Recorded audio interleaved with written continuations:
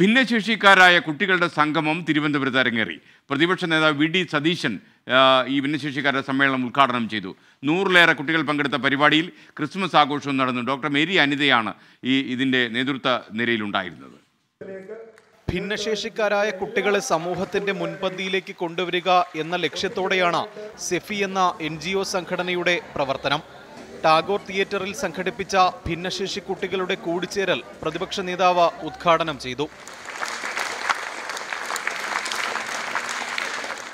തോൽക്കാതെ ജീവിതത്തിലെ പ്രതിസന്ധികളെയും പ്രശ്നങ്ങളെയും നേരിടണം ഞാൻ ഈ കുഞ്ഞുങ്ങളുടെ രക്ഷകർത്താക്കൾ.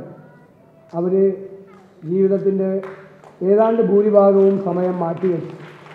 ഈ കുഞ്ഞുങ്ങളെ നോക്കുന്നവരാണ് അപ്പോൾ മാതാപിതാക്കളും അധ്യാപകരും നിങ്ങളെ സഹായിക്കാൻ സ്നേഹിക്കാൻ കൈപിടിച്ച് കൊണ്ടുവരാൻ ഉത്തരവാദിത്തമുള്ള എല്ലാവരും ഒരുമിച്ച് ചേരുമ്പോൾ നമുക്ക് ഒരുപാട് മാറ്റങ്ങൾ ഉണ്ടാകാൻ പറ്റും. ചടങ്ങിൽ ഭിന്നശേഷിക്കാരുടെ കലാപരിപാടികളും നാടൻ പാട്ടുകളും നടന്നു. സിഫി lifetime achievement award P Thankamani ടീച്ചർക്ക് ഭിന്നശേഷി കമ്മീഷണർ സമ്മാനിച്ചു.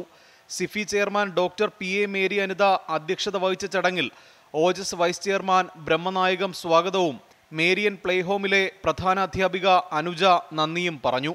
ട്വന്റി തിരുവനന്തപുരം.